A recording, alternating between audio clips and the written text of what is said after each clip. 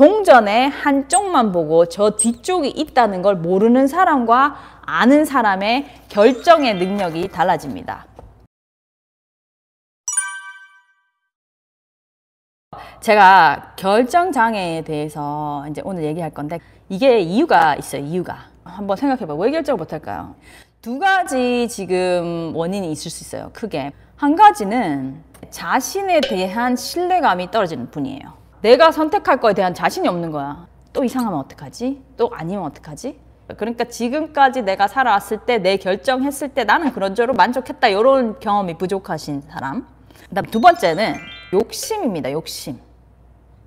선택을 하면 하나를 선택한다는 의미도 있지만 하나를 포기한다는 의미예요.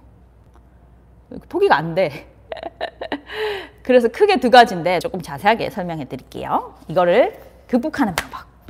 우리가 너무 어릴 때부터 모든 일에 정답이 있고 딴 거는 틀렸다 이렇게 많이 배웠어요. 오지선다. 한 개가 맞고 나머지 네 개는 틀린 거야. 그러니까 내 선택에서 뭔가 틀린 경우가 많고 한 개 잘 맞춰야 되는데 그거 왜 맞추지? 이거 틀리면 해야지. 이런 마음을 너무 많이 갖고 있는 거예요. 이거, 이거는 학습된 잘못된 개념입니다.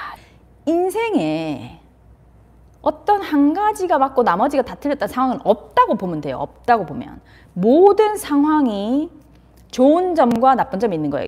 Two sides of a coin. 동전의 양면. 모든 것에는 동전의 양면이 있어요. 세옹지마죠. 세옹지마.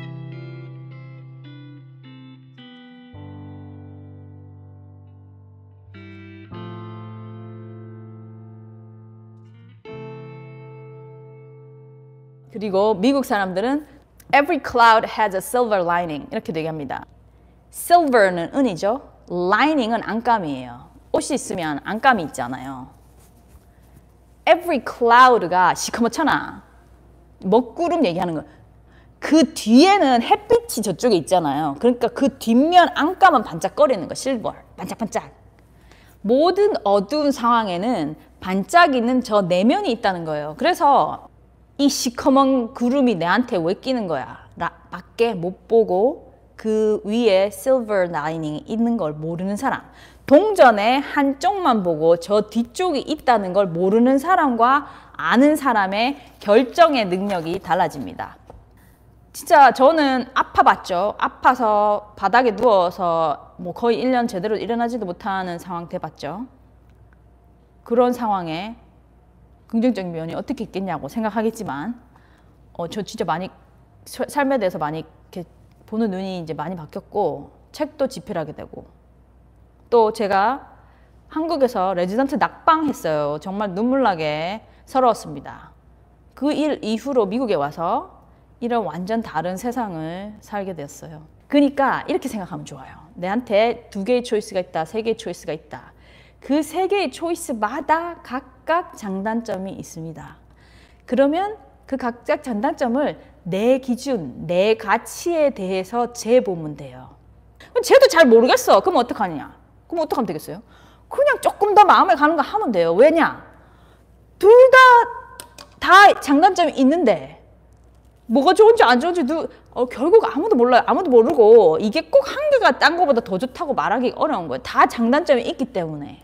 그러니까 그냥 내가 조금 더 끌리는 거로 간 다음에, 그 다음에 어떻게 하면 될까요? 아, 보면 또 자, 단점이 더 많이 보이겠죠. 그럼 어떻게 생각? 계속 그냥 더 긍정적인 걸 보면 돼요. 아, 이게 이 부분은 그렇지만 또 이 부분은 괜찮구나. 아, 또 이 부분은 괜찮구나. 이게 또 연결되는 게 뭐죠? 긍정적인 생각과 밀접하게 연결되는 게 감사입니다. 감사. 어떤 상황에서도 감사가 있을 수 있습니다. 그게 긍정적인 면을 보는 거예요. 나쁜 면만 계속 보고 아, 내 그럴 줄 알았다. 저걸 했었어야 되는데 그럼 그쪽으로 갔으면 또 딴 단점이 있었을 거예요.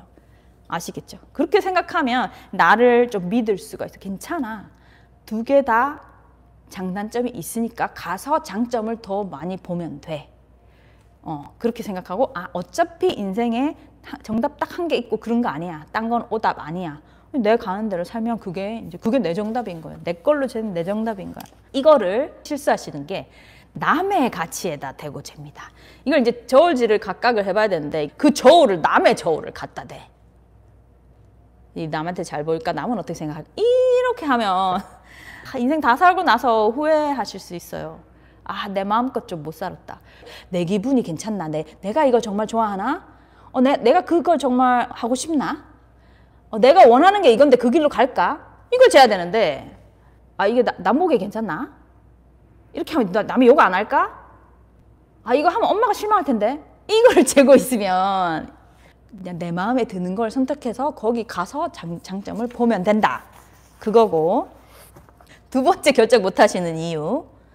어, 자기에 대한 확신은 좀 있고 괜찮은데 결정을 못 해. 이분들은 좀 욕심이 있는 거예요. 예를 들면 짜장면이나 짬뽕 중에 둘, 둘 중에 내가 더 먹고 싶은 거 선택한다 이렇게 생각할 수 있잖아요. 대부분 그렇게 생각하죠. 또 그 양면에는 한 가지를 내가 포기한다는 게 선택입니다. 이게 또 있죠. 경제학 용어, 사회학 용어로 opportunity cost를 그러죠. 어, 기회 비용이라고 그러죠. 쉽게 말하면 결정이라는 게 내가 좋아하는 걸 선택한다는 의미도 있지만 그보다 어떻게 보면 더 큰 게 그 외의 것을 포기한다는 겁니다. 그래서 이게 어려운 거예요. 하나를 포기하지 못해서 두 개의 양다리를 걸치는 상황이 되면 이한 개도 제대로 안 되는 상황이 될 수 있습니다. 그래서 포기를 할 줄 아는 사람이 더 현명한 결정자가 되는 거예요. The enemy of good is better. good 좋은 거죠. 좋은 것의 적은 더 좋은 거다. 내가 갖고 있는 게 good, 진짜 good, it's so good. 인데 the better가 있을 것 같아서 이 초이스가 안 좋아 보일 수 있는 거죠. 그게 있고 그 말이 있고 또 완벽주의를 추구하면서 일을 끝내지 못하시는 분께는 done is better than perfect. 완벽한 것보다 더 좋은 것은 마치는 것이다. perfect 하려고 계속 하기보다는 어느 순간에 oh, I'm done. This is good enough. 라고 할 줄 알아야 된다는 거죠. 왜냐면 계속 perfect만 가다 보면 던이 안 돼, 던. 됐어가 안 돼. 안 끝났어. 평생 그렇게 살 겁니까? 물론 그렇게 할 수도 있지만 모든 것을 극하다 보면 진짜 뭐 말 걸쳐놓기만 하고 끝이 안 나는 거죠. 좋은 점은 radical gratitude, gratitude 감사를 하고 부족한 점은 I can handle it. 내가 handle 하면 돼요. 그렇게 생각하면 세상을 향할 때 결정이 조금 더 자신감 있어집니다. 제 책 마음이 흐르는 대로에 이런 부분이 꽤 나와요. 제가 읽어 드릴게요. 짜잔, 요 장면인데요. 200, 272쪽입니다. If you really want to do it, go for it. 너가 정말로 해보고 싶은 일이라면 한번 해봐. 이리저리 고민할 시간에 내 열정이 가리키는 방향을 따라 희망을 가지고 해보라는 것이다. 물론 그 길이 매우 험난할 수도 있을 것이다. 그렇지만 내가 가고 싶은 길을 걷는다면 그곳에서 내 자신에 대해 그리고 세상에 대해 더 많은 것을 배울 테니까. 무엇보다도 내 마음이 흐르는 대로 사는 것이 바로 우리가 인생을 후회하지 않고 살 수 있는 길일 테니 말이다. 꼭 동전의 양면, silver lining 기억하시고 어떤 일을 내가 선택하든지 내가 더 좋아하는 걸 선택해서 좋은 면을 보면서 감사, radical gratitude 감사하면서 살고 어려운 건 핸들링 하면 된다. 이렇게 이제 정리 쫙 해버리면 선택에 조금 더 용기가 생깁니다. 어, 우리의 그 마음의 불편함, 만족감이 없는 이거를 조금이라도 도움을 드리려고 엄청 애쓰고 있습니다.